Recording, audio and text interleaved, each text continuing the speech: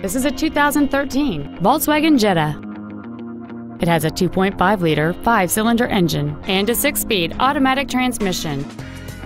Features include traction control and stability control systems, dual power seats, cruise control, side impact airbags, full power accessories, a keyless entry system, and air conditioning.